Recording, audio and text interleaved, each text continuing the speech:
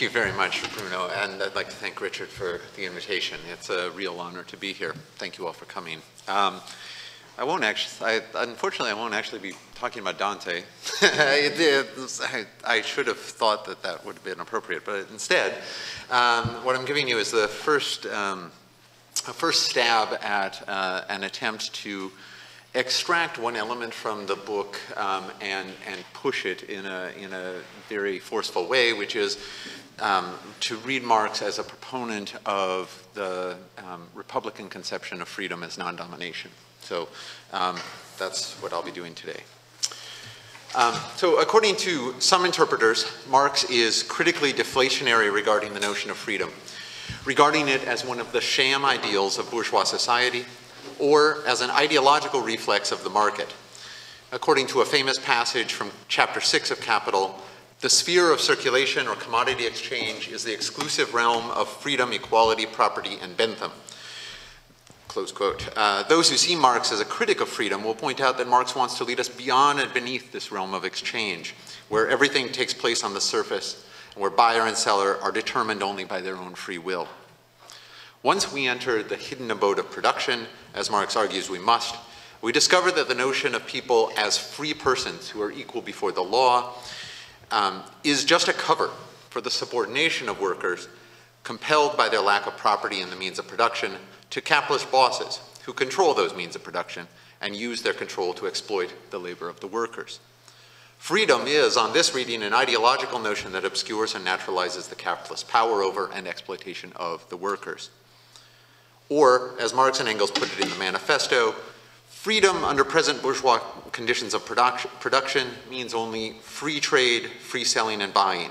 But if selling and buying disappears, free selling and buying disappears also. This talk about free selling and buying and all of the other brave words of our bourgeois about freedom in general have no meaning when opposed to the communistic abolition of buying and selling, of the bourgeois conditions of production, and of the bourgeoisie itself.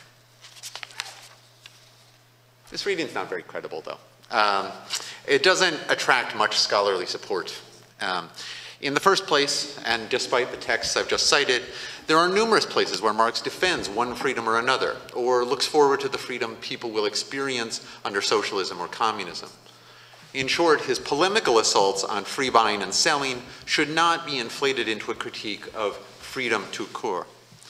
Moreover, Marx's deflationary criticisms of bourgeois freedom themselves seem to entail a contrast with real freedom. If Marx attacks the notion that the market is populated by free persons who are equal before the law, it is because the freedom of the market presupposes and entrenches the unfreedom of workers.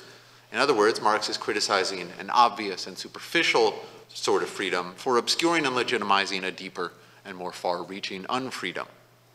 Hence, the very terms of the criticism imply that we ought to pursue a more substantial freedom than the freedom of the market. the dominant approach, therefore, is to claim that Marx is both an advocate and a theorist of freedom, but that his understanding of freedom is radically divergent from the traditional liberal notion of freedom from coercive constraint. Thus, according to Andrzej Walicki, the whole, quote, uh, the whole Marxian philosophy of history and man, as well as his vision of the communist society of the future, revolves around the problem of freedom. And Marx's response to this problem, quote, has nothing in common with negative liberty. Among those who emphasize the role of freedom in Marx's political and theoretical projects, there is near consensus around Walicki's position that Marx has a positive conception of freedom. However, there is quite a bit of disagreement and even confusion about the precise outlines of this conception. Allen Wood attributes to Marx the claim that freedom consists in, quote, the subjection of oneself and its essential functions to one's own conscious, rational choice, close quote. Where those functions include, quote, the social conditions of human production and all social relations as such. George Brenkert claims that Marx understands being free as, quote, essentially determining within communal relations to other people, the concrete totality of desires, capacities, and talents which constitute one's self-objectification, close quote. In a more popular vein, Terry Eagleton claims that, quote, what Marx knows as freedom is self-determination or the ability of people to, quote, shape a narrative for themselves. Walicki himself took the position that freedom, quote, freedom was conceived by Marx not as an absence of external co coercion or constraint, but as the ability to live in accordance with man's essential nature, that is, as the opposite of dehumanization. My thesis in this paper is that these efforts to elaborate upon Marx's conception of positive freedom are largely misguided, and that they distract us from a much more fruitful project, sussing out the precise contours and implications of Marx's conception of negative freedom. Despite the novelty and inherent interest of Marx's various comments about self-realization and self-determination, they are not, in the final analysis, very important for understanding either his critique of capitalism or his political strategies for the self-emancipation of the laboring class. These hinge instead upon Marx's commitment to freedom from domination, where domination means being subject to another's power, where that power is one you cannot control. Marx's major contributions to political theory stem from his attempt to work out this commitment to freedom as non-domination through a critical analysis of the dynamics of modern commercial economy on the one hand, and a political strategy of bottom-up popular mobilization on the other. So my itinerary is going to be as follows. I will first differentiate two broad strands of the positive liberty reading of Marx. According to one, Marxian freedom is a form of human self-realization, the universal development of specifically human capacities in an open-ended way. According to another reading, Marxian freedom is a form of collective self-determination, or rational control over the social and natural conditions of human life. I will grant that both of these notions of positive freedom can properly be attributed to Marx. However, by examining some of the representative key texts in the next section, then I hope to show how to think about the relationship between these two positive conceptions such that, on one hand, self-determination takes a certain lexical priority over self-realization, and second, self-realization is explicitly located by Marx beyond politics thereby obviating the great that great liberal bugbear that one might be forced to be free. After this, turning then to freedom as self-determination, I will identify three candidate conceptions in Marx's texts, that of individual, individual independence, that of democratic self-rule, and that of collective rational control. I hope to show that the first two notions are ruled out by Marx as fruitful conceptions of self-determination, and finally, that Marx's invocations of collective rational control are compatible with, indeed presuppose, the attainment of freedom from domination. Then finally, I'm going to conclude very briefly by considering some independent reasons for pursuing this Republican reading of Marx and some likely consequences thereof. Throughout, I'm going to focus on examples culled from Marx's texts of the 1850s and after, it's my contention that the Marx of Capital and the International Working Men's Association is committed to a politics of Republican freedom, so invocations of positive liberty from Marx's later texts are the harder cases for my argument. Um, I, I, there's going to be several large block quotes in this, uh, and I, if I'd been thinking ahead, I would have printed them out or put them on the PowerPoint slide or something like that, but uh, I apologize I didn't do that, so I'll just I'll read some large blocks of text. Um, hopefully that'll be okay. Um, so I'm going to start uh, with Marx's criticism of Adam Smith in the Grundrisse, uh, which gives rise to some comments about freedom that I think are representative of a broad current of Marx's thinking. This is the first block quote. In the sweat of thy brow shall thou labor, was Jehovah's curse on Adam. And this labor for Smith is a cur- and this is labor for Smith, a curse. Tranquility appears as the adequate state, as identical with freedom and happiness. It seems quite far from Smith's mind that the individual, in his normal state of health, strength, activity, skill, facility, also needs a normal portion of work and of the suspension of tranquility. Certainly, labor obtains its measure from the outside, though through the aim to be attained and the obstacles to be overcome in attaining it.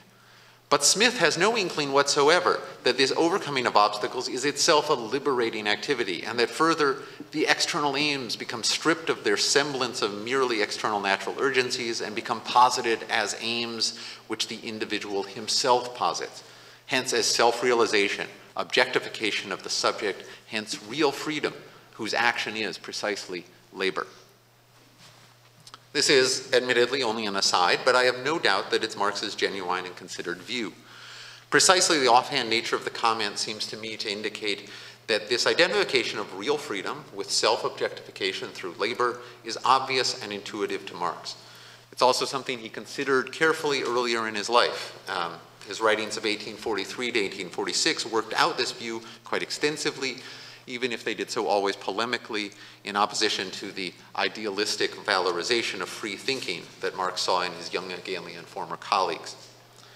Therefore, I have no interest in denying either the authenticity or the seriousness of Marx's commitment to this notion of freedom. Nonetheless, I do want to argue that this notion of real freedom plays a very precise and circumscribed role in Marx's thought. Basically, it plays the same role that the account of eudaimonia and virtuous action plays in Aristotle. On the one hand, it provides Marx with an account of human well being or happiness or perfection.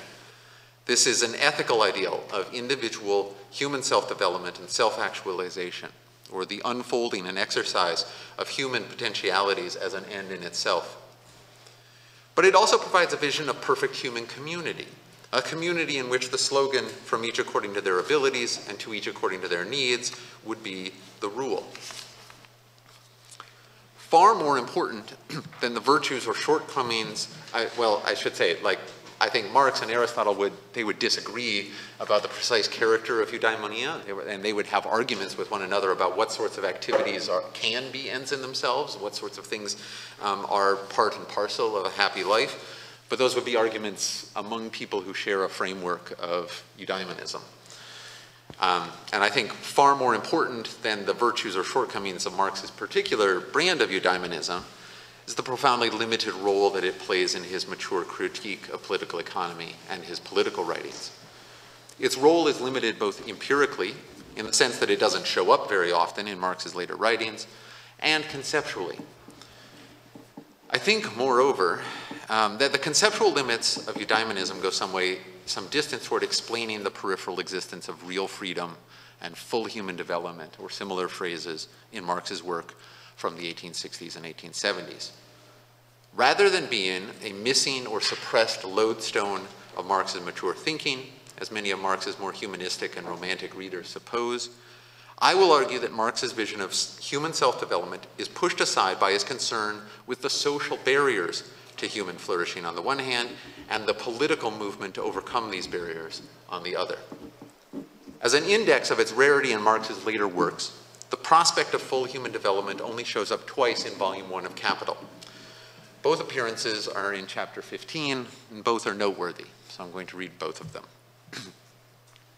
First, Marx writes, uh, the ancient Greeks perhaps excused the slavery of one as the means to the full human development of another, but to preach slavery for the masses in order that a few rough, half-educated parvenus might become eminent spinners, extensive sausage makers, and influential shoeblack dealers.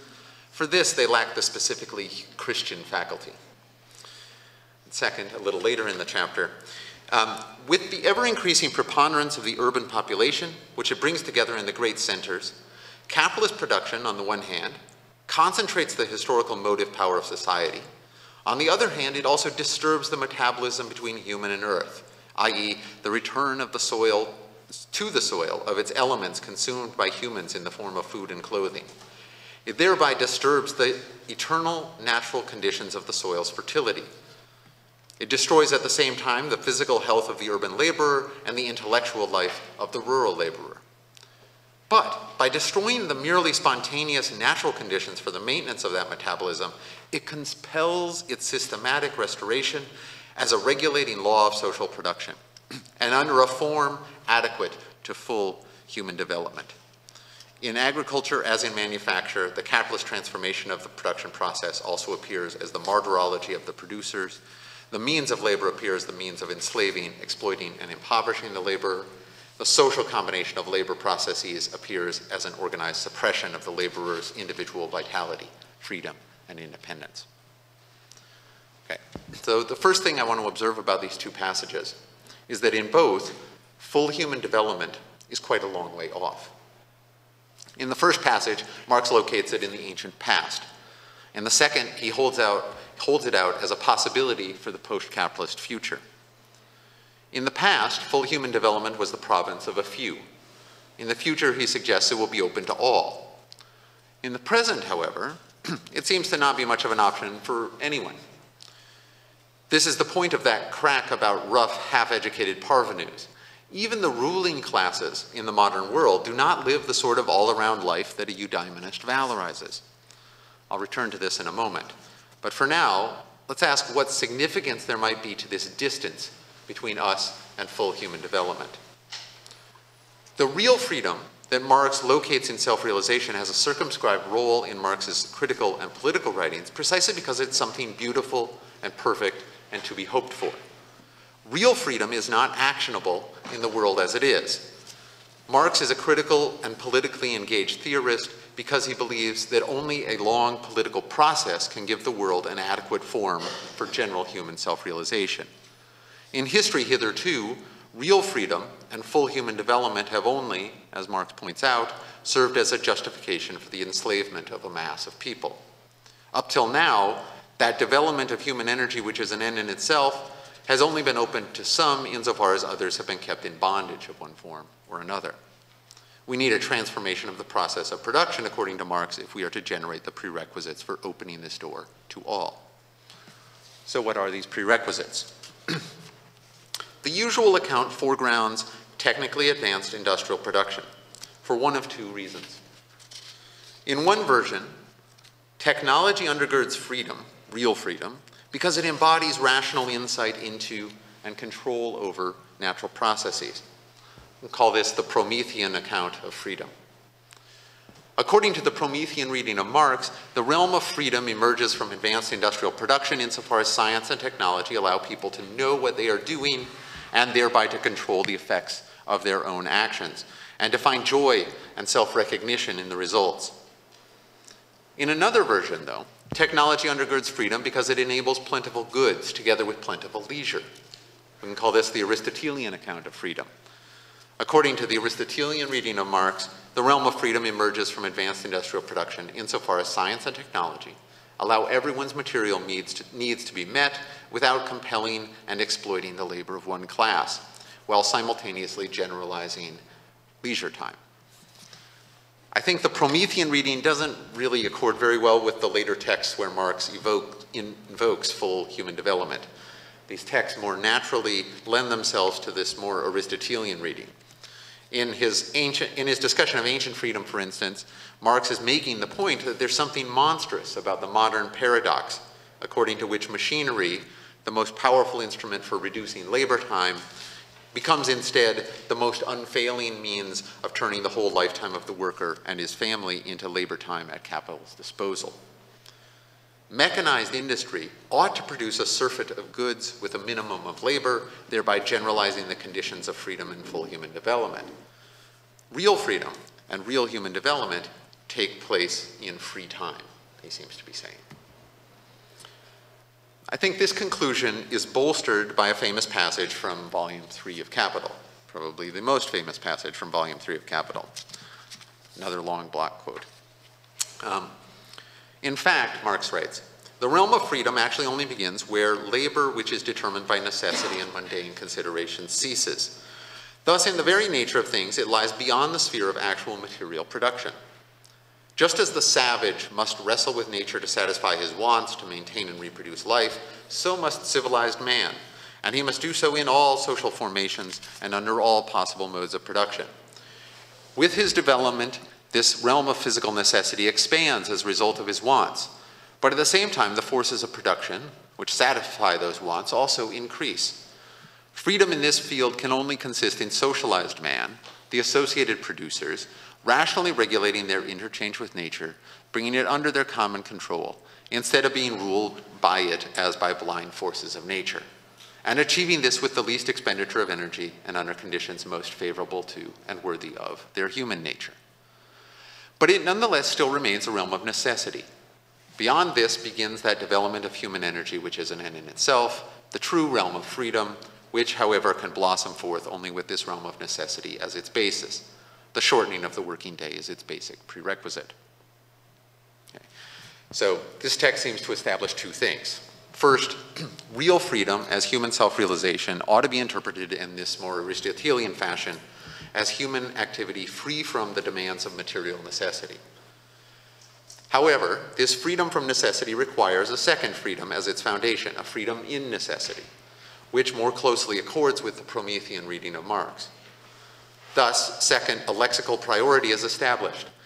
The freedom to control the effects of material production is for the sake of the freedom to develop one's human capacities fully and for their own sake, and therefore must be satisfied first, where satisfied means established to the point where real freedom is a general possibility.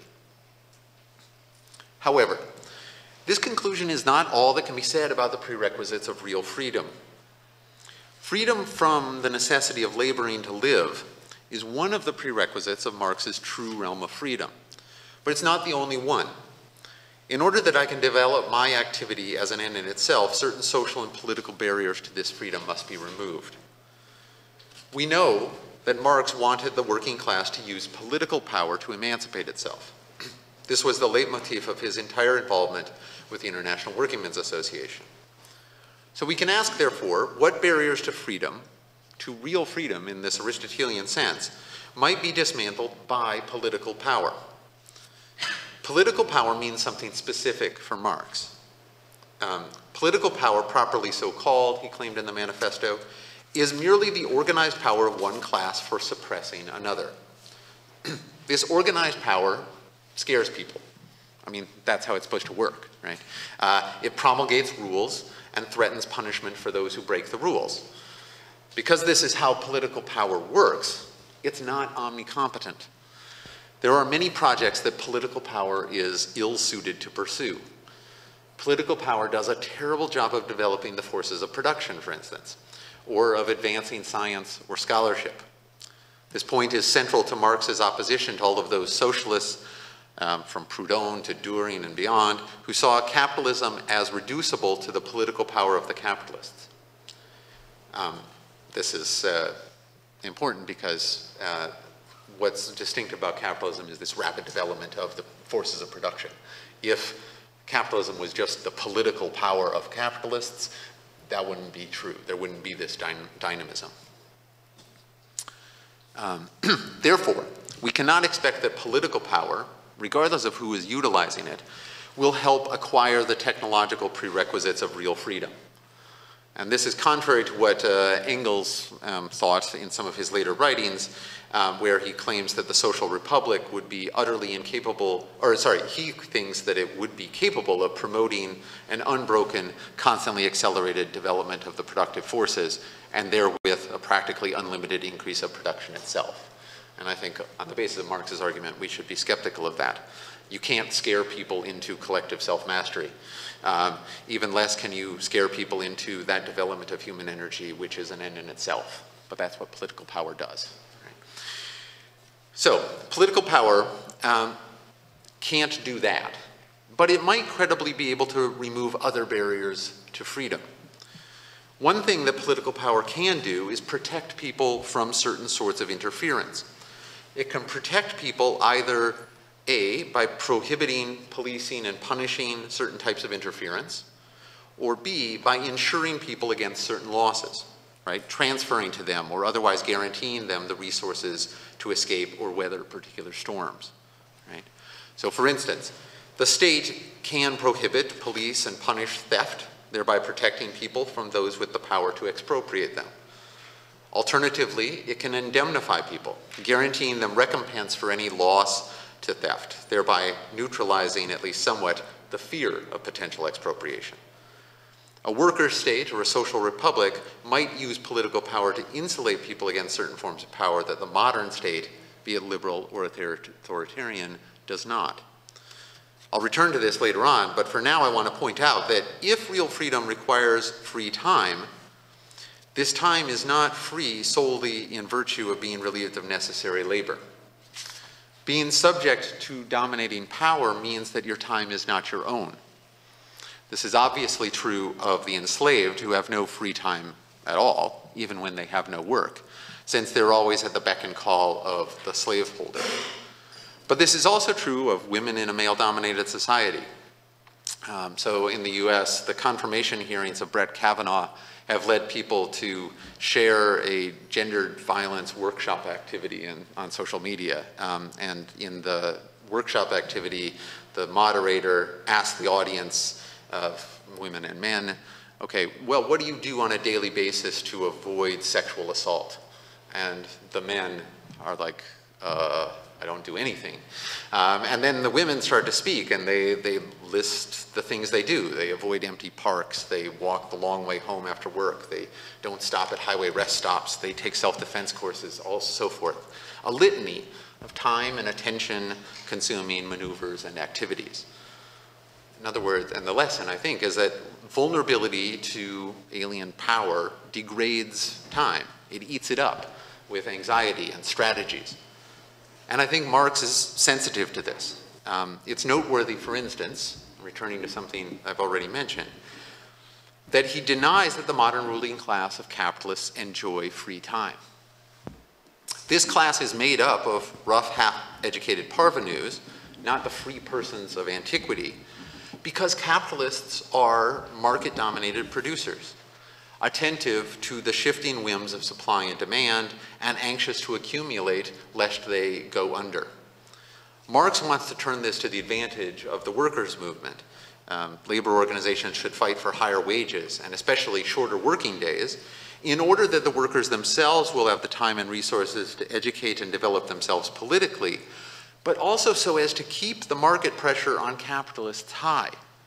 This will, Marx argues, speed both the development of productive technology as competition on productivity heats up, and the concentration of capital as less capital intensive firms go under. this strategy hinges on the capitalist domination by the market and consequent lack of free time. Given how Marx understands real freedom and political power, finally, um, his conception of positive freedom does not license forcing people to be free. So Marx's notion of free, real freedom is, I would say, a utopian element in his thought, but a utopian element that precludes utopianism. That is, it precludes the prescription of doctrinaire blueprints of social organization to be realized by any means necessary. The perspective of real freedom, as I've tried to reconstruct it up to this point, is that of an ethical ideal of the good life, it establishes a vast distance between the world as it is and the world in which, it, in which we could be satisfied. But it also tells us that the movement by which we try to change this world can never quite bring us to that other world. The political movement can only establish certain political prerequisites of real freedom. It cannot directly develop the Promethean technical prerequisites, but it can increasingly protect workers' time from the impositions of domination. So that's my first, the first leg of the argument. Okay, so now let's turn to self-determination. So regardless of what Marx says about real freedom, he's also held to be a proponent of self-determination in one sense or another. And this may seem to be a more properly political ideal of freedom. It seems to me that Marx invokes something like self-determination in three distinct contexts. And so what I want to do is I want to look at each of those types of self-determination in turn. The first is the notion of individual or small corporate group independence or self-determination. The second is a characterization of democracy at the level of the nation state as self-rule. And the third is the already encountered promise of collective rational control over the material production process. I'm going to try to dispense with the first two as quickly as possible so that we can look at the third more fully. Um, as that's the version of freedom of self, as self-determination most often attributed to Marx, and for good reason. So, first, um, when self-determination is discussed in contemporary political theory, it often refers to something like personal independence or autonomy including artificial or corporate persons like churches, universities, or firms. And this same usage shows up in Marx. Often it's marked by the terms uh, Selbstständigkeit, independence, or Selbstbestimmung, self-determination. A representative text is this passage from the first draft of Capital. or really, it's really the third draft of Capital, but whatever.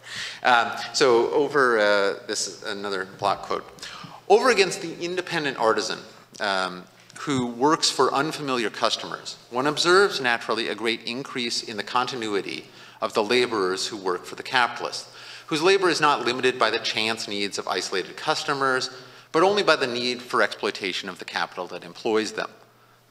Over against the slave, on the other hand, this labor is productive, since it is intensive, insofar as the slave labors only under the drive of external fear, but not for his existence, which does not belong to him and yet is guaranteed. The free laborer, however, is driven by his wants.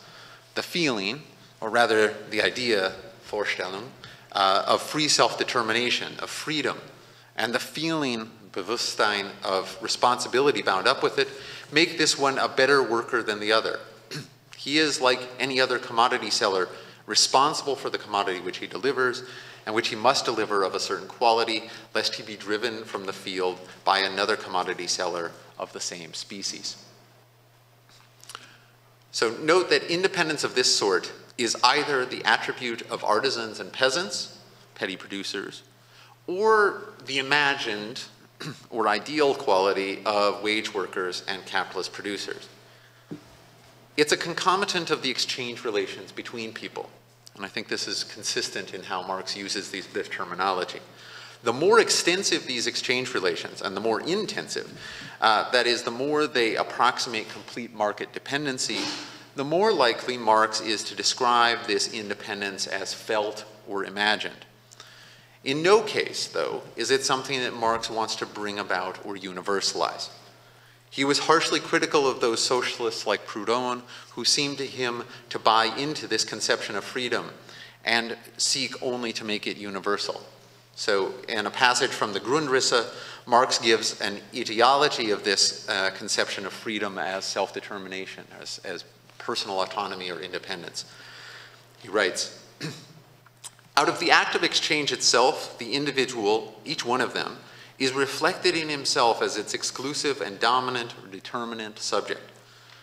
With that, then, the complete freedom of the individual is posited. Voluntary transaction, no force on either side. Equality and freedom are thus not only respected in exchange based on exchange values, but also the exchange of exchange values is the productive, real basis of all equality and freedom. And pure idea, as pure ideas, they are merely the idealized expressions of this basis. As developed in juridical, political, social relations, they are merely this basis to a higher power. And so it has been in history. Equality and freedom, as developed to this extent, are exactly the opposite of the freedom and equality in the world of antiquity, where developed exchange value was not their basis, but where rather the development of that basis destroyed them. So this is the notion of freedom about which Marx is critically deflationary. Individual self-determination, individual autonomy is an ideological reflex of the market and a sham ideal. And it's not uh, Marx's notion. So, um, well, turn to the second conception. So while Marx is a critic of this first notion of personal self-determination, He's often held to be a proponent of self-determination in a second sense, a sense that also occurs both in his texts and with great frequency in contemporary political theory. This is self-determination as an alias for political democracy. Democracy as collective self-rule or popular sovereignty. It's hard to find anyone writing in the wake of the French Revolution who does not talk about democracy in these terms, and Marx is no exception. However, Marx's political advocacy of democracy, uh, at least after his conversion to socialism in 1844, harkens back instead to the original conception of democracy, I think, as literally the power, the kratos, of the mass of people in assembly, the demos, rather than reiterating the modern assertion that the whole, rather than a part or an other, is politically sovereign. That this is the original meaning of democracy is controversial, of course. Um, no less an authority on ancient Greek political thought than Josiah Ober argues that demokratia means rule by all of the people, and therefore the self-rule of the entire citizen body. However, I am thoroughly convinced by two sources that this construction is incorrect. Um, and we know that one of these sources had special authority for Marx. So invoke Aristotle for a third time. Uh, Aristotle always interprets democracy as the rule of the many, which everywhere means the rule of the poor. And say what you will about Aristotle's political allegiances, I think he was a keen student of political matters, and I'm inclined to trust him on this one. Um, Second, um, Daniela Cammack, in an essay that's forthcoming in Classical Quarterly, has exhausted, but it's available online, you can look it up. Um, it, she's exhaustively examined the uses of demos in the ancient sources. Uh, and she demonstrates that, I'll read a chunk of her argument. Quote, the original meaning of demos, and that implied in Demokratia, was assembly, defined as the collective political agent constituted by the common people in explicit contradistinction from those who played leading political roles, such as princes, counselors, elders, generals, or orators, including orators in regimes where everyone who wished might speak publicly, such as democratic Athens. Demos did not indicate anyone who attended an assembly meeting, that is to say, but specifically the audience, those who listened, responded, and otherwise acted en masse, as opposed to those who spoke pu publicly or performed other individual political actions. By extension, demos denoted all those who participated in politics through collective action in explicit contradistinction from those who had personal political significance, close quote. In other words, the birth of democracy was neither the birth of collective self-rule nor the birth of popular sovereignty. Rather, it was the ascendancy of the assembled people's decision-making power over the power of those who called them together, addressed them, and held offices while they were dispersed. this power of the assembled people was not the rule of all, but as Aristotle insisted, the rule of the many, those who are of necessity multitudinous. This power was collective, but it was not self-rule, since it was first and foremost power over the local elites, those who stood out from the crowd and made a name for themselves. The question was whether those elites could take decisions on their own and commit the city to policies and courses of action, or whether they had to seek the approval of the assembly. was the assembly a robust check on elite decision-making power or not? How much control did the assembly have over elite action? This accords very well with Marx's claim that winning the battle of democracy would mean the organized and class-conscious proletariat leading the masses in suppressing the power of the capitalists and landed proprietors. In other words, Marx advocated democracy precisely because it was not collective self-rule, but rather the political rule of the many poor over the few with economic or official sources of power. Marx's commitment to democracy as popular power over elites goes beyond his support of workers' political mobilization against the capitalist state, too. In his arguments with Bakunin and his encomium to the Paris Commune, he upheld democratic elections as an essential instrument for checking and controlling the managerial, administrative, and legislative offices uh, of officials of socialist polities and cooperative factories alike. In short, I think, Marx was a thoroughgoing Democrat precisely because democracy is not collective self-determination. So, set aside those two versions of self-determination.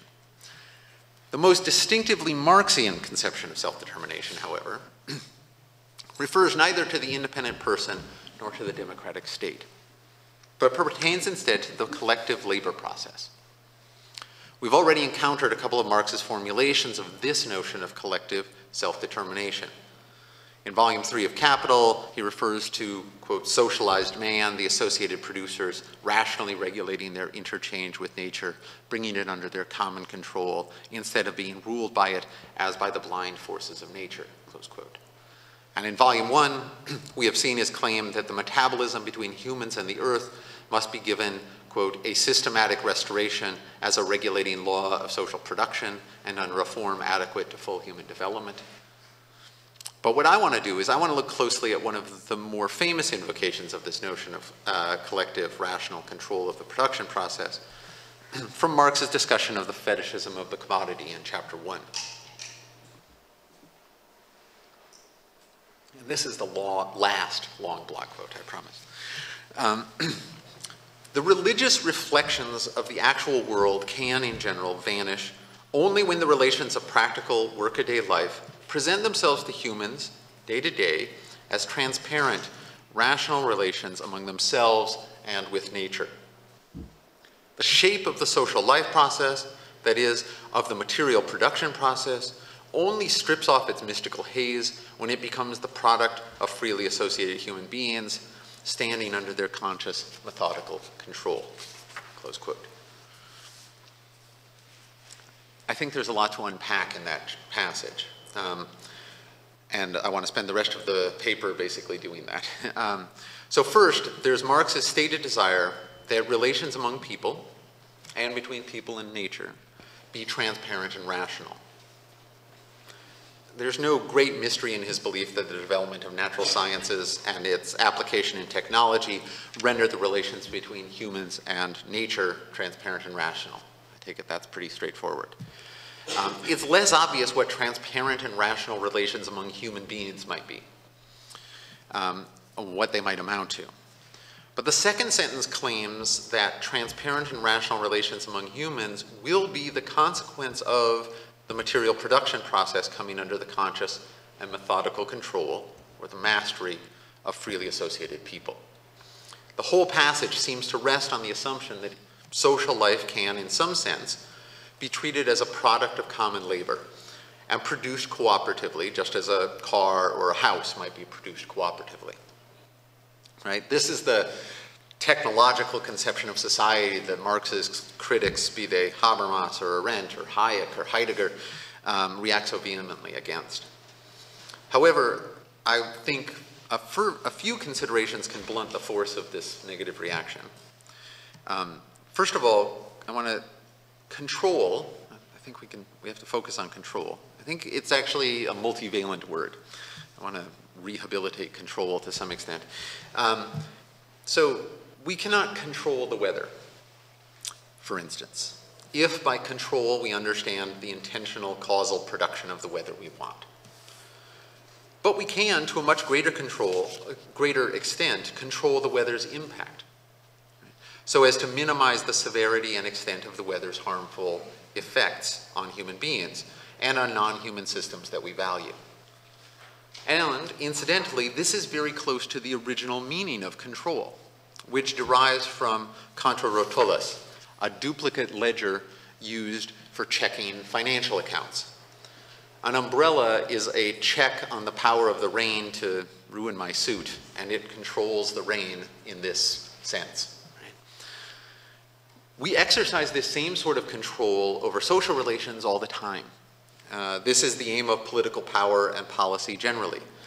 It does not and cannot control people in the way that radio signals control a child's toy car, but it does attempt to control for people, right? To control the sorts of effects that we can have on one another. For example, we cannot control the fact that people die. Uh, but we can control to some great extent whether people die in workplace accidents or from intimate partner violence. We can control these things because we can both sanction unsafe employers and violent or abusive partners, and we can empower people to avoid and leave unsafe jobs and unsafe partners. We cannot control the fact that a person's death will grieve those close to them, but we can control whether the death of a parent or spouse will cause people to fear for their own livelihood or future. In this way, conscious methodical control over social life is just what policy is, be it ever so liberal. Therefore, actually, what is, really distinctive about Marx's aspiration in this passage is not the desire for conscious methodical control over social life, I don't think. I think that's broadly shared by everybody who thinks that policy is important. But rather, two other claims that are embedded in this, in this passage. First of all, the claim that if freely associated people exercise conscious methodical control over the material production process, this will result in transparent and rational relations among themselves. That's the first. And second, the further claim that this outcome will lead to the dissipation of religious superstition in society. I'm much more skeptical of the second claim than Marx was, um, but nothing hangs on that for present purposes.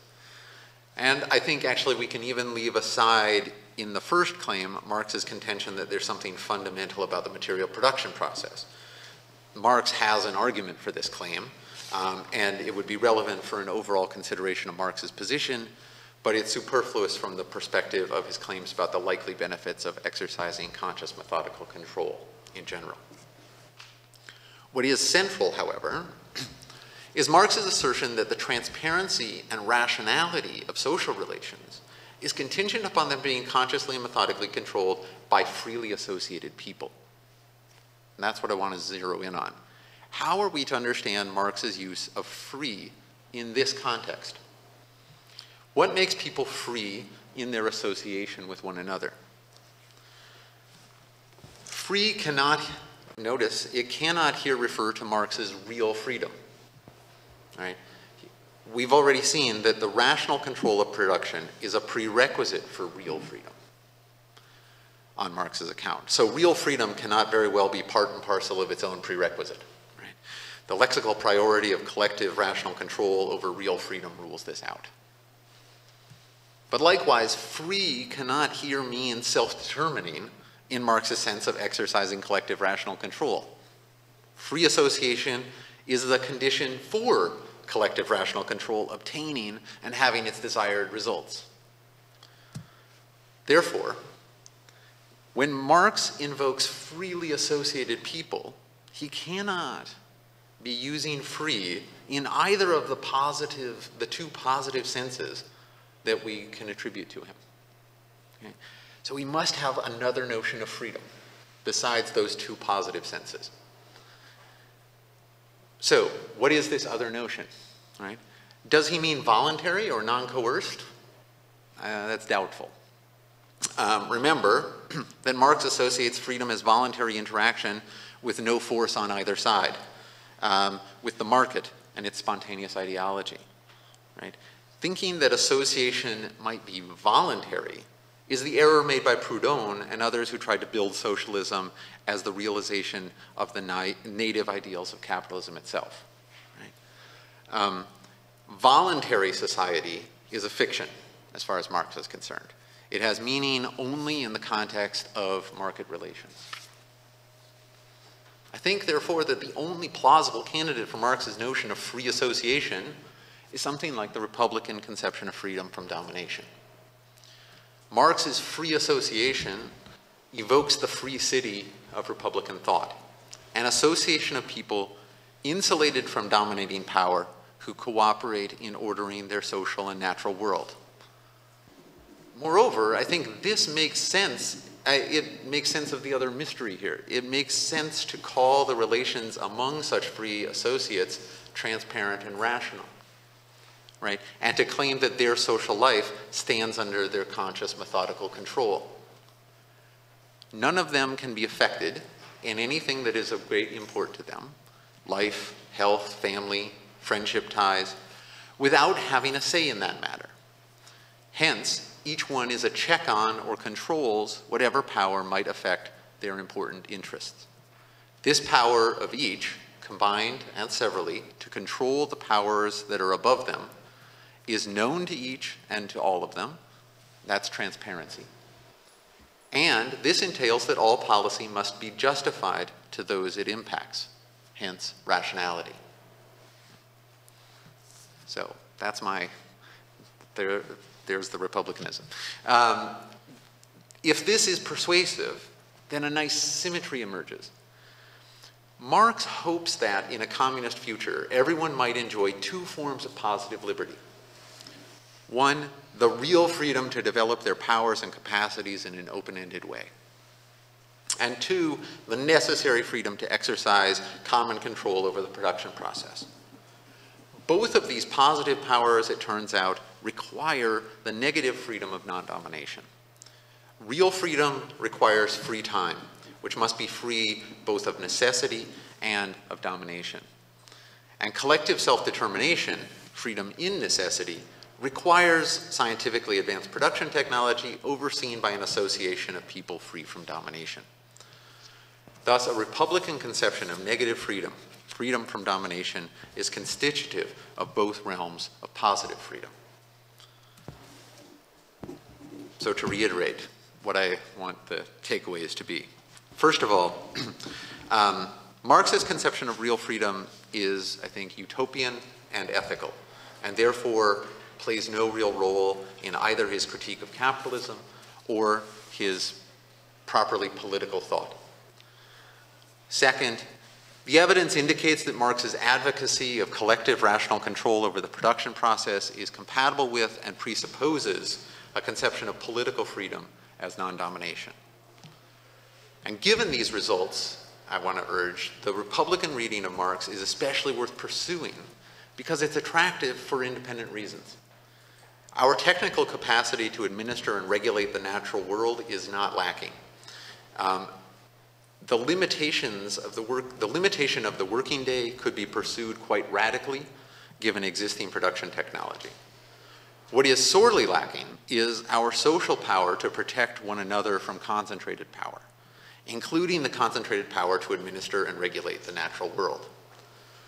I think Marx is an important resource for thinking about both the forces that sustain this lack of equitable social power and the forces that could overcome it. But we cannot avail ourselves of this resource so long as we think he offers only or primarily an account of positive freedom. Thank you.